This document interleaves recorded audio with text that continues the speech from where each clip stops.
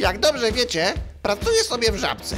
Oferta nie zachwyca, bo sprzedajemy tylko hot dogi z zimną parówką i bez keczupu. Jak zawsze, kiedy miałem chwilę wolnego, oglądałem sobie walki szympansów na YouTubie, kiedy do sklepu wszedł jakiś chłopczyk.